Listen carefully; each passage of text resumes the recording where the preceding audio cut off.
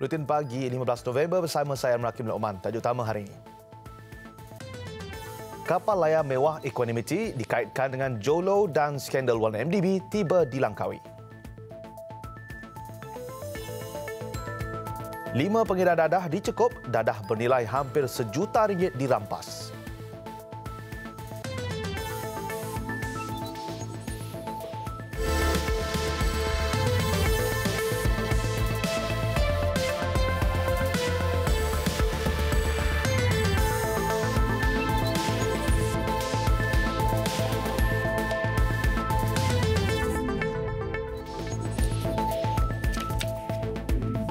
Assalamualaikum dan salam sejahtera. Kapal layar mewah yang dikaitkan dengan ahli perniagaan Jolo dan Skandal One Malaysia Development Berhad Equanimity dilaporkan berlabuh di Markas Wilayah Laut 3 Pangkalan Tentera Laut Diraja Malaysia TLDM Langkawi di Tanjung Lembung petang semalam.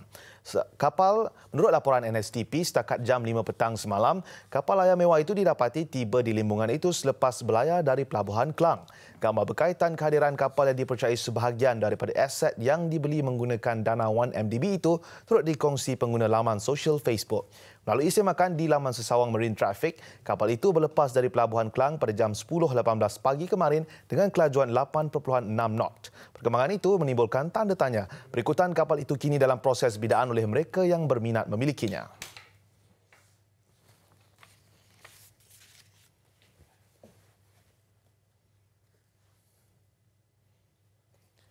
Lima lelaki warga tempatan di Syaki pengedar dadah ditahan bersama Lima lelaki warga tempatan di Syaki pengedar dadah ditahan bersama dengan pelbagai jenis dadah dianggarkan bernilai RM804,000 di sekitar Kuala Lumpur dan Selangor Isnin lalu. Ketua Polis Kuala Lumpur Datuk Seri Mazlan Lazim berkata, kesemua suspek berusia 22 hingga 45 tahun itu ditahan dalam serbuan jam 2.30 petang di tempat berasingan. Dan rampasan yang telah dibuat adalah 19.1 kg dadah disyaki heroin 9.3 kg dadah diceki metavitamin syabu. Pasukan polis dari Jabatan Siasatan Jenayah Narkotik JSJN Bukit Aman dengan kerjasama JSJN Kuala Lumpur berjaya menjumpai kesemua darah dipercayai disimpan di dalam dua buah kenderaan yang berlainan di setapak. Polis turut menyita lima buah kenderaan bersama dengan pelbagai jenis barang kemas dan wang tunai lebih RM5,000. Keseluruhan rampasan bernilai lebih RM1 juta ringgit. Seorang suspek yang dipercayai ketua kepada kumpulan direman tujuh hari dan empat suspek lagi direman sehingga 18 November ini. Kes disiasat Meko Seksyen 39B Akta Dadah Berbahaya 1952.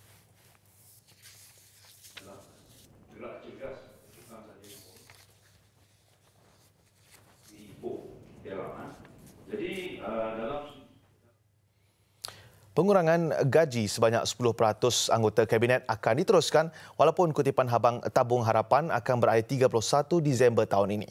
Menurut Menteri Kewangan Lim Guan Eng, beliau masih belum menerima sebarang notis maupun arahan agar pemotongan dihentikan sebagaimana pengumuman Perdana Menteri sebelum ini. Saya uh, dapat remajalah bahawa potongan itu gaji tidak disalurkan kepada tabung harapan tapi terus balik kepada uh, hasil kerajaan. So sehingga saya dapat arahan lain, gaji akan terus dipotonglah. Kecuali melainkan ada arahan bahawa kerana tabung harapan dihentikan maka potongan itu gaji pun dihentikan. Sebab Tapi kerana saya tak dapat apa-apa arahan, saya rasa potongan akan terus dijalankan. So, itu soalan peribadi ke atas. Mei lalu, Perdana Menteri Tun Dr. Mahathir Mohamad mengumumkan pemotongan gaji anggota Kabinet sebanyak 10%. Ia langkah prihatin terhadap masalah kewangan negara selain menetapkan contoh yang baik. Sejak tabung harapan ditubuhkan 8 bulan lepas, hampir 198 juta ringgit telah dikutip sehingga 12 November lalu. Ekspor ke China telah melonjak namun segalanya telah lenyap dengan sekelip mata. Kerajaan Negeri Sarawak komited untuk terus memastikan rekod pentadbiran di negeri itu cemerlang dan dilaksanakan dengan penuh integriti. Menurut Ketua Menteri Datuk Abang Johari Tun Openg, pemantauan Ketua Audit Negara ke atas proses penganugerahan tender oleh Kerajaan Negeri amat dialalukan. To further enhance our excellent achievement and good records of government I will include the Auditor General to sit in all our project audit committee under our State Tender Board chaired by the State Financial Secretary. Beliau turut mengalu-alukan Suruhanjaya Pencegahan Rasuah Malaysia SPRM untuk turut sama menghadiri mesyuarat tender negeri. Kerajaan negeri sebelum ini telah menerima sijil kesihatan bersih selama 16 tahun berturut-turut daripada Jabatan Audit Negara yang sekaligus membuktikan rekod cemerlang pentadbiran selama ini.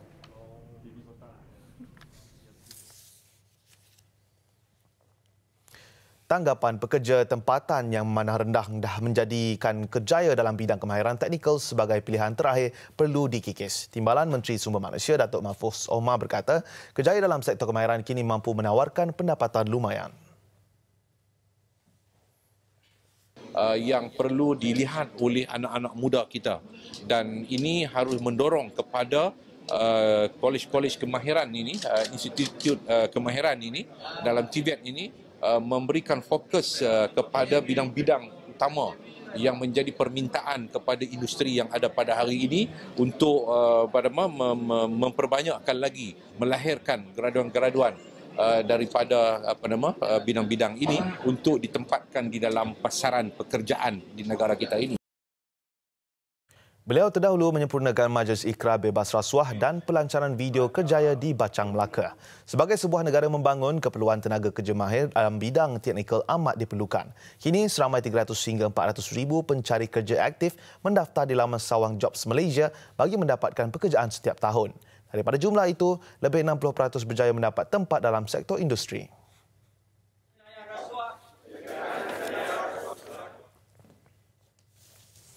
Ahli PKR Iswardi Morni membuat laporan kepada Suruhanjaya Pencegahan Rasuah Malaysia SPRM bagi menyiasat kelemahan pemilihan PKR Sarawak membabitkan cabang Petrajaya yang diuruskan Jawatan Kuasa Pilihan Raya Pusat JPP Parti berkenaan. Beliau yang beliau yang bertanding sebagai calon ketua cabang Petrajaya pada pemilihan ahad lalu juga sudah membuat laporan polis kerana percaya berlakunya konspirasi terhadap dirinya pada pemilihan yang menggunakan sistem e-voting itu.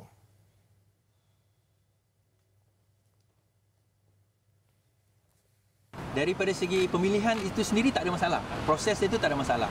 Cuma bila it comes to e-voting, uh, electronic voting yang ada sekarang ni, uh, kita dapati banyak sebenarnya masalah yang berlaku dan fact hari ni kalau siapa yang cover di, di semalam uh, cover di parlimen memang ada banyak undi ragu yang hilang. Saya bagi contoh uh, undi saya uh, lawan Najib Baharudin dia menang 191 undi, saya menang saya dapat 159 undi. Okey, so jelas eh? 191 159. Okey. Tapi Rafizi Ramli dapat 120 lebih dan Azmi dapat 150 lebih. Jadi pelik. Ketua cabang dapat 190 lebih, saya dapat 150 lebih tapi timbalan presiden dapat kurang. Ujarnya sejak awal lagi proses pemilihan itu tidak berlaku adil kepada calon dan pengundi berikutan tindakan JPP menukar hari mengundi pada saat akhir iaitu kurang 24 jam tanpa notis dikeluarkan. Beliau percaya terdapat cubaan untuk mengganggu pemilihan terbabit yang prosesnya dibuat dengan keadaan tergesa. Surat bantahan mengenai apa yang berlaku itu sudah dikemukakan kepada JPP dan mendakwa terdapat 15,000 undi meragukan pada pemilihan parti berkenaan membabitkan seluruh Malaysia. Pemilihan PKR cabang Petrajaya menyaksikan Baharudin Mohsin berjaya mengekalkan jawatannya sebagai ketua PKR dengan meraih sebanyak 191 undi menewaskan Iswadi Morni yang memperoleh 159 undi. Sambutan Hari Falsafah Sudin 2018 yang bertemakan penyebaran keamanan kepada masyarakat menekankan bahawa falsafah membawa kepada perubahan intelektual. Majlis berkenaan yang diadakan di Ibu Negara dihadiri oleh panel terkemuka dari dalam dan luar negara bagi berkongsi idea mereka mengenai penyebaran keamanan kepada dunia. Antara yang hadir ialah penerima anugerah Aristocrat of the Earth, Syed Hussein Al-Attas, Presiden dan Naib Presiden WPF Profesor Dr. Igor Kondrashin dan Profesor Dr. Halu N. Forum Falsafah Dunia WPF diadakan bagi menekankan kepentingannya disiplin terutama untuk golongan muda yang mengetengahkan falsafah sebagai suatu disiplin menggalakkan pemikiran kritikal dan bebas serta mampu bekerja ke arah pemahaman yang lebih baik tentang dunia dan mempromosikan toleransi dan keamanan of the world population disasters, but now is the deadliest Bekas Perdana Menteri Datuk Seri Muhammad Najib Tun Razak menyifatkan isu rombakan kabinet sekiranya berlaku dalam masa terdekat memberi gambaran bahawa menteri baru tidak berwibawa. Rombakan pentadbiran pada kebiasaan berlakunya pada dalam tempoh masa yang lebih lama. Biasanya rombakan kabinet berlaku dalam satu tempoh yang agak lama sedikitlah uh, biasanya setelah setahun setengah berlalu baru ada rombakan kabinet. Tapi kalau berlaku dalam sari dua ni, berarti bahawa ada satu keputusan yang uh, tidak mengikut kelaziman dalam negara kita. Dan ini boleh membawa pada tafsiran bahawa menteri-menteri yang dilantik itu uh, tidak berwibawa ataupun tidak menjalankan tugas sebenar mana yang diharapkan. Perdana Menteri Tun Dr. Mahathir Mohamad dalam temu bual bersama akhbar Singapura berkata beliau bersedia melakukan rombakan kabinet susulan berakhirnya pemilihan PKR Sabtu lalu.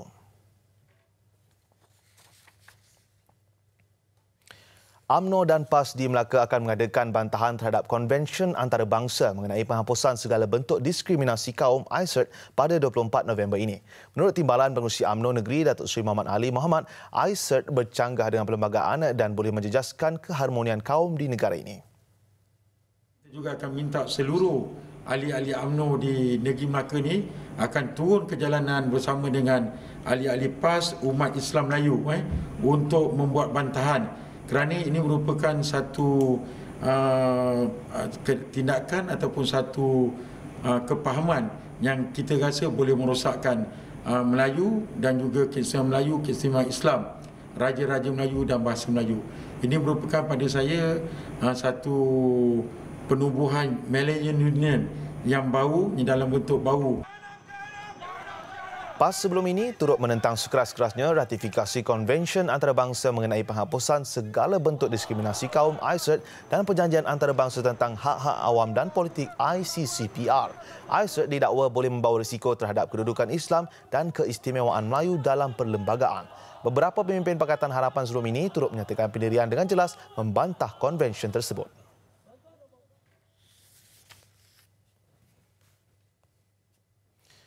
Jenazah pelakon dan pelawak tanah air Alairaham Zainal Arifin Abdul Hamid atau Zaibo selamat dikebumikan di Tanah Perkuburan Islam Rengit Batu Pahat jam 9.20 malam tadi. Jenazah tiba di Tanah Perkuburan kira-kira jam 9.10 malam selepas disembahyangkan di Masjid Jamik Pekan Rengit. Suasana sedih menyelubungi perkarangan masjid ketika keluarga, teman, rapat dan rakan seni yang hadir mengiringi jenazah ke Tanah Perkuburan sebagai penghormatan terakhir kepada Alairaham. Turut hadir pengurusi Yayasan Kebajikan Artis Tanah Air Datuk DJ Dave. Zaibo yang berasal dari anak bukit Kedah mengembuskan nafas terakhir pada 1.30 petang semalam di kediaman beliau di Rengit akibat kanser esophagus yang dikesan sejak September lalu. Isnin lalu, Tunku Puteri Johor Tunku Tun Aminah Sultan Ibrahim bersama suami baginda Dennis Muhammad Abdullah berkenan meluangkan masa melawat Alarham di kediaman bagi memberi sokongan. Yayasan Kebajikan Artis Tanah Air turut memberi sumbangan kepada keluarga Alarham Zaibo bagi meringankan beban mereka.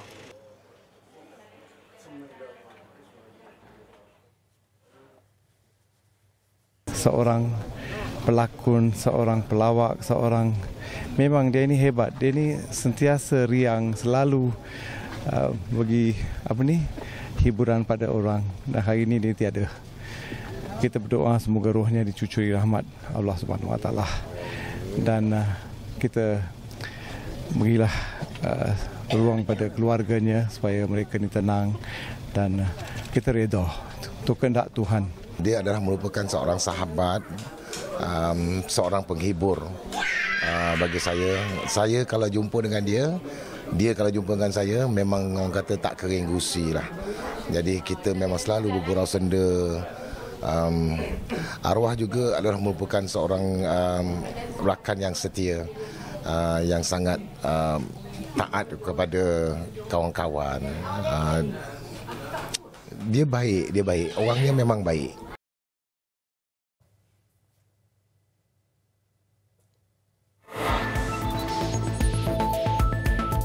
Remaja sertai Muay Thai untuk sara keluarga maut dalam pertandingan.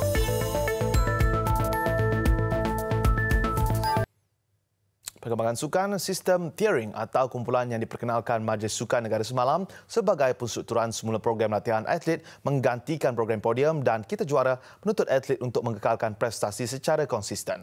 Dengan sistem ini, tiada isu atlet anak emas akan timbul kerana ia menggunakan pendekatan mengikut pengelasan temasya dan pengiktiraf atlet berdasarkan pencapaian mereka.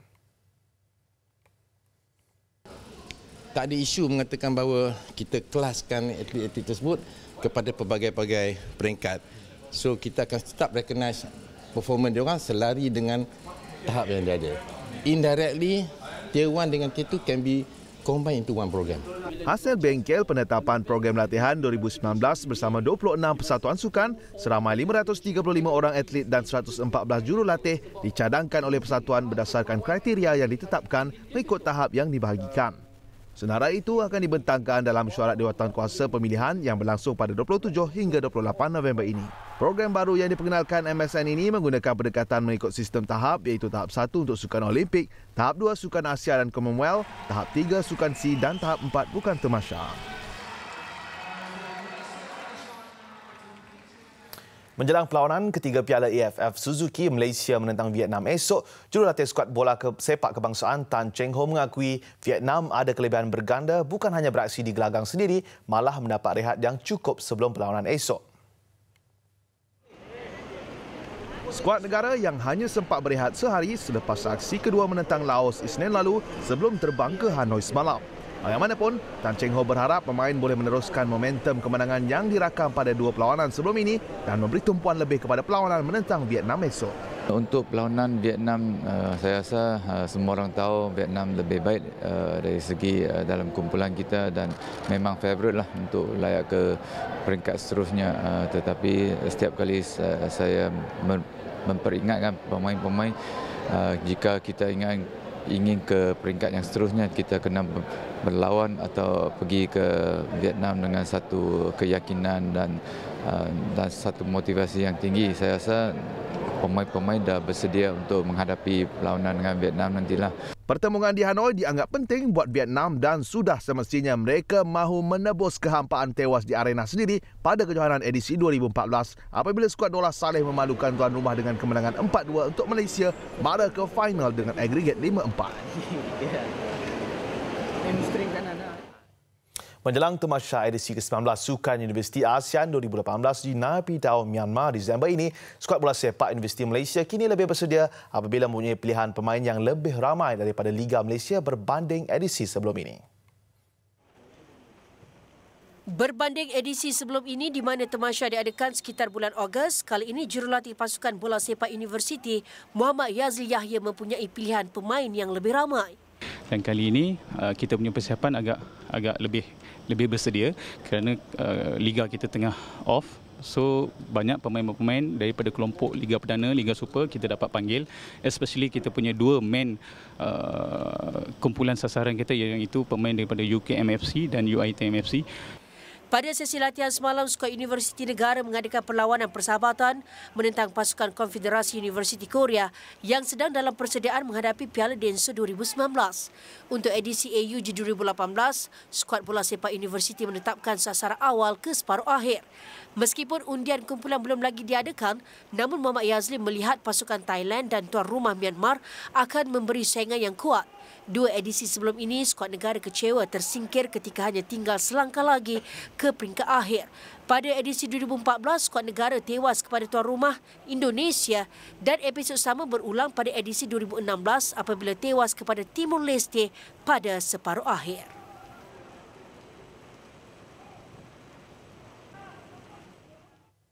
Dengan laporan itu, sekian dulu buat waktu ini. Jangan lupa melanggan YouTube Bulletin TV3 untuk lebih banyak klip berita dan laporan langsung. Aksi dua beradik pelarian Afrika yang pertama kali merasai salji di Toronto, Kanada mengakhiri Bulletin Pagi hari ini. Saya Merakim Lokman, salam hormat dan Assalamualaikum.